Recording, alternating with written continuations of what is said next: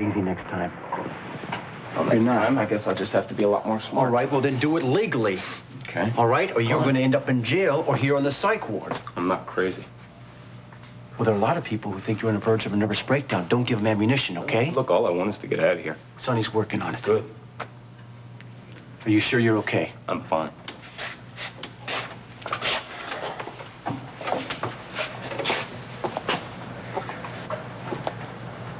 Phillip.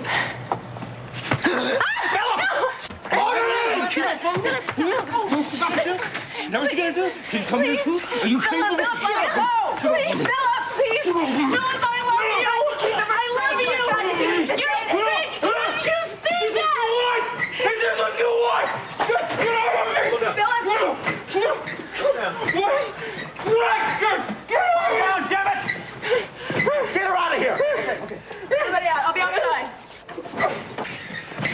All right, all right, right, get off!